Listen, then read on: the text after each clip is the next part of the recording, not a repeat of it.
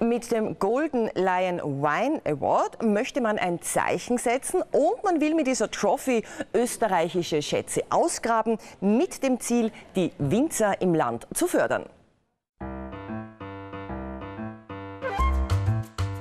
Treffpunkt der Austrian Autochthon White Wine Trophy, das Sporthotel Mölltal mit dem Ziel, die österreichischen Winzer zu fördern. Was wir heute gemacht haben, war eine Verkostung zum Thema typisch autochthone Rebsorten Österreichs.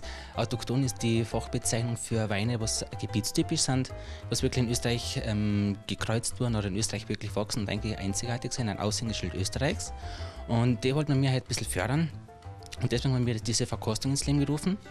Es ist ein Teil der Golden Wine Awards. Wir haben nur die Autochthon Austrian äh, White Wine Trophy. Wir machen jetzt nur speziell die Weißweine. Ähm, verkostet wird ausschließlich von Fachkräften. Sommeliers aus Handel und Gastronomie. Hierbei ist das Ziel, eine neue Art der Verkostung zu präsentieren. Und so mit den Endverbrauchern, den Konsumenten, was der Wein schließlich kaufen soll, etwas in die Hand zu geben und irgendwie zu zeigen, was der Wein kann, ihn zum Kauf zu motivieren. Bei der Beurteilung gibt es klare Bewertungskriterien. Wir bewerten mit einem 20-Punkte-System. Es ist ein ganz klassisches, einfaches System, aus dem wir noch ein Endergebnis ähm, herausfiltern, wo wir nachher die Lions vergeben, bis zu fünf Lions, ähnlich noch ein Sternesystem. Weiters Geschmack und Potenzial des Weines. Und ähm, natürlich auch die Nase und die Optik was ist als verwendbar ist. Frucht ist Kraft, ist Stärke. Die Golden Lion Wine Awards und Chef Peter Ladinik wollen ein Zeichen setzen. Speziell mit den autochthonen Trophies. Wir haben jetzt einen Weißwein, in August ist noch ein Rotwein.